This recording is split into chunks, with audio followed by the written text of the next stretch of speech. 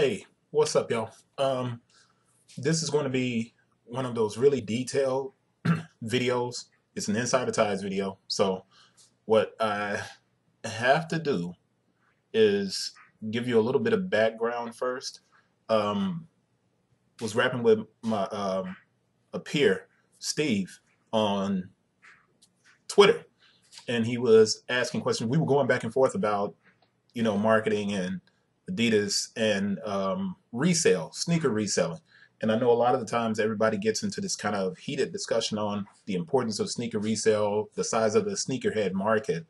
And what I was explaining when I was talking to him is that the idea of sneakerhead has to change drastically. And that people who are assuming that sneakerheads are these young kids, pimply faced kids that are just standing in line camping out for sneakers that mentality is what is hurting the sneaker business right now and that the sneaker business is mi- missing out on a ton of opportunity because you have these analysts who think they know things because they have data or they think they have this data that confirms what they are pitching to these companies and that information is really wrong because it's based on a premise that hasn't been updated to account for the change in what a sneaker head is it's no longer a small niche group. It's a much bigger group than people understand. Anybody want to talk to me about that? You can reach out to me and give me a call. All right.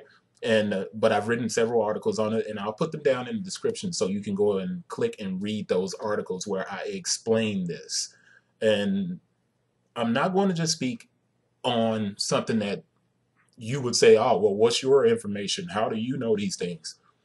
I'm a reseller but I'm not a reseller in the way that you guys probably think of resellers. There are a lot of people who are like me who understand that reselling exists in the general release market on shoes that are readily accessible. Now, how do I present to you information about this? And that's a long introduction, and I apologize for that because we don't have that much time to go into detail. I'm only going to try and keep this to a little bit under 10 minutes. I don't want to take a lot of your time. All right.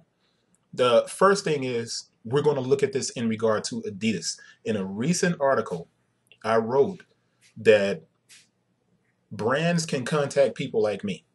Now, there are probably not that many people like me. And learn how to predict their brand heat or the brand momentum based on the resale market. Now, I wrote that because in 2015, and I'm going to click over to this article and I'm going to put this article down here and I'll put it up here at the top over here over my head. It should pop up now. Um, where I was talking about how uh, Nike had to combat Adidas because in 2015 is when Adidas's momentum really started to take off. Now, the reason I can say that is because I was selling Adidas shoes at the time that were general release shoes.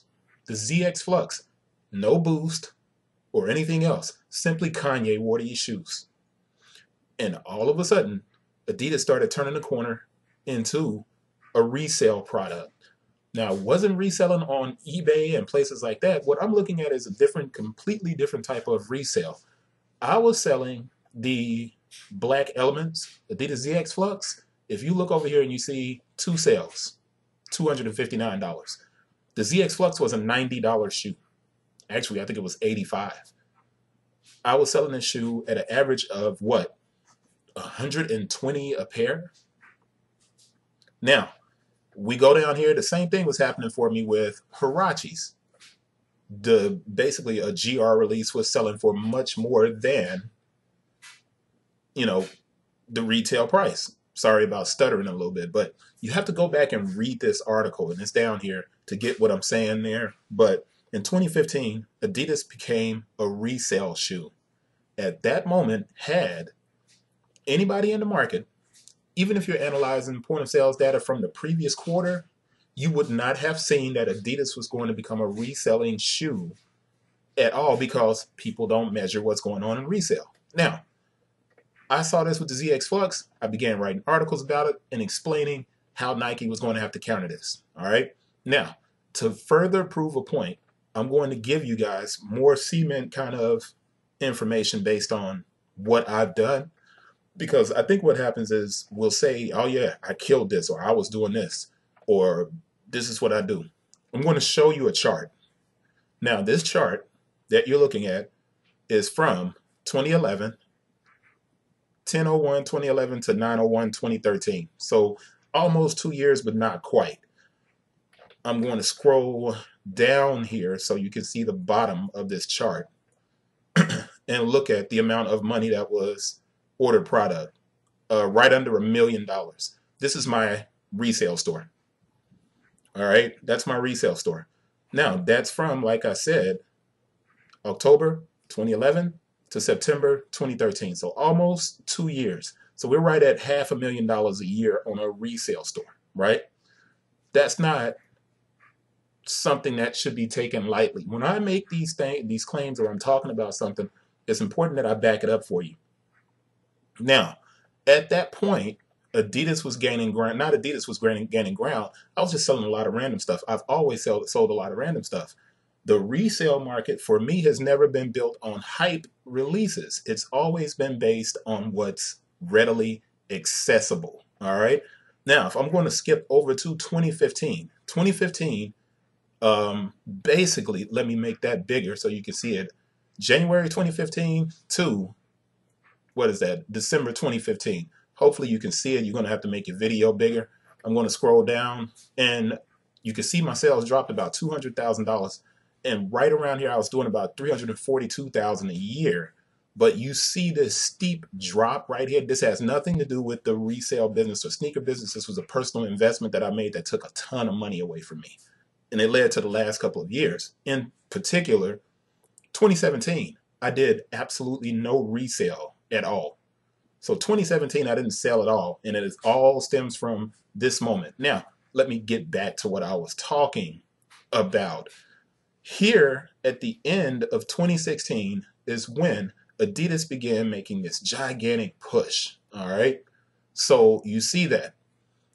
But to give you more detailed information, I need to show you which shoes were selling at resale that weren't hyped shoes because the importance of this video is not in the fact that I sold a Yeezy. Yeezys hadn't even dropped yet. So we're talking 2015, 2016, right?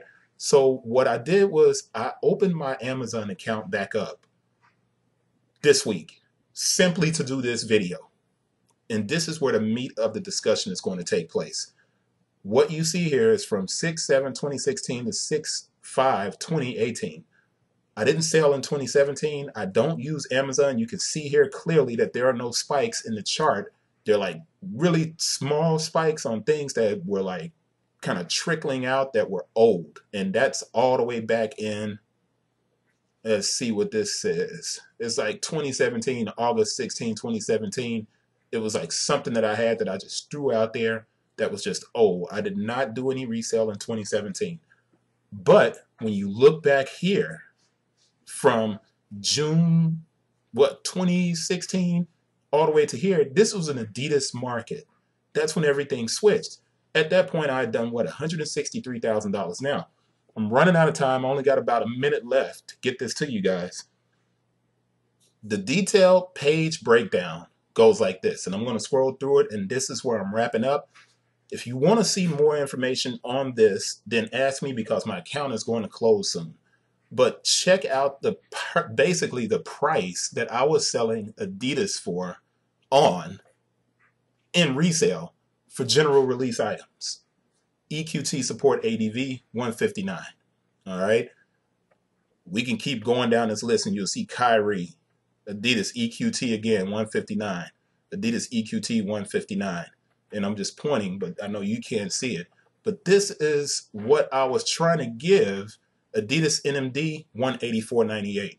That's where everything changed. We can talk about this in detail, and I'll get into it much more if you ask. See you guys later.